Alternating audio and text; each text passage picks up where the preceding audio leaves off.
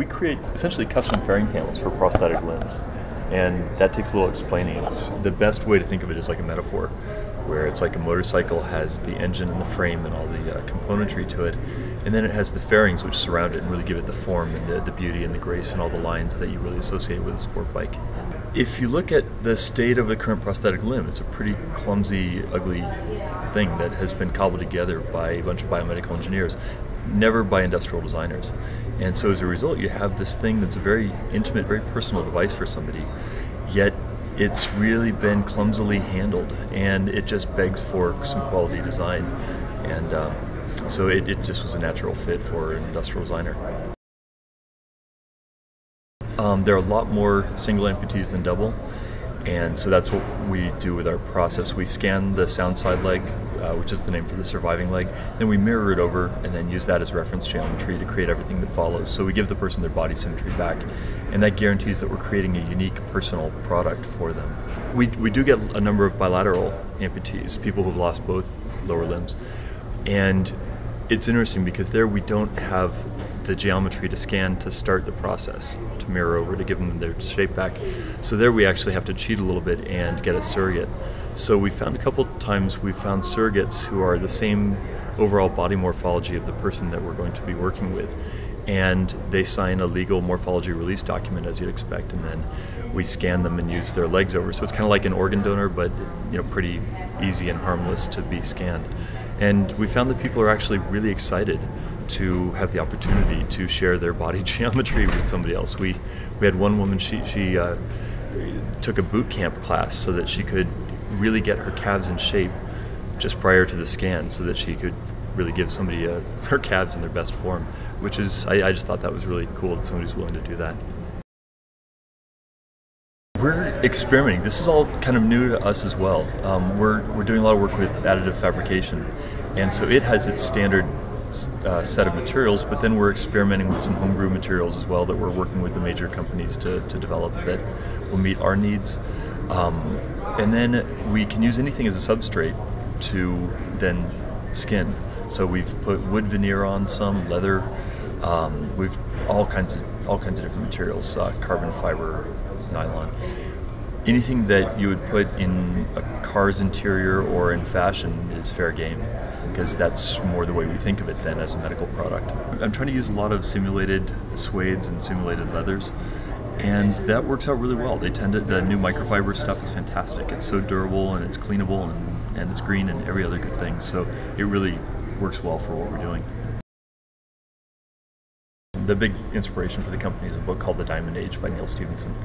And it's this idea that you can rethink mass production under some circumstances when it just doesn't cut it. And when you do that, you can start thinking about a one product per person, You design and create the product for that one person.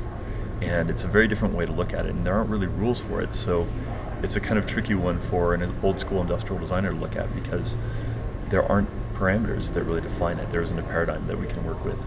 We didn't actually come to this with the intent of pushing the bounds of, of additive fabrication. That is more a byproduct that the idea was to solve the problem, and mass production just doesn't do it. There's no way you can address this with any kind of mass production means. So I started looking into additive fabrication and doing some a lot of experiments and finally found that yeah it's it's finally fully baked the technology is ready to be used in this kind of context it's the, the parts are certainly survivable if you do some extra treatment to them they are at their museum level. They're, they're gorgeous. You can, you can do really stunning pieces um, once you know the tricks and how to how to get all the details to work right. We can leather wrap things, and the leather's fantastic. Um, everything about the additive manufacturing process is is pretty exciting. It's coming. It's gone through a lot of changes recently, so it's uh, it's ready for this kind of thing. The user response is effusive. People, um, it it changes the lives of the users. Um, we've seen people really um, kind of break down just because they realize that their life is very different when they when they first put it on, try it on. The first guy we had, he re- reached down and he felt his calf muscle, well, the, the, calf that we gave him, and he kind of thought about it. And he said, I, I haven't felt that shape in eight years." That he kind of said, "Yeah, for eight years I've been feeling a titanium pipe and a M5 hex nut and some titanium flanges." he never thought he'd feel his own shape again. Uh, we had another woman who showed up um, for a follow up meeting and she was wearing skirts. And she was saying, yeah, she went out and bought a bunch of skirts. She hasn't worn a skirt in six years. Uh, things like that. That it's it's just it's interesting coming from in, industrial design where a lot of it really doesn't impact somebody's life to that degree, to realizing where everything we do really turns somebody's life completely around, and that that is a pretty powerful thing to take into work every day. I have never been involved in the medical world. Uh, my background is always pure industrial design. I worked at Apple and did a lot of consulting for Apple and Nike and um, everyone else in the Bay Area. I always had this love for ID. The, the, stuff that I didn't love was mass production because there's something I always found very unsatisfying. You design this part and you create it, and it's exciting to see that first prototype, and then it's exciting to see some of the appearance models and the first thing roll off the line. But then it's just mass produced junk that's just destined for the landfill. So I always kind of felt a little empty after the product was out of my hands. It's, it's much more satisfying, I think, right now that we can actually create one thing on a per person basis. It also kind of appeals to a real short attention span, which I always had as a kid, where once I'm done with a project, I'm kind of done with it. And it's now our turnaround time is about two, three days per person.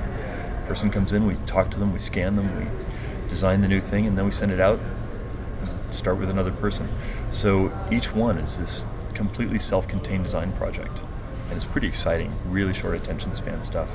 Th- this is entirely different work that we're doing with Bespoke from traditional consulting, in the sense that there, there's a meaning to it that is really profound. That you're working directly with the end user.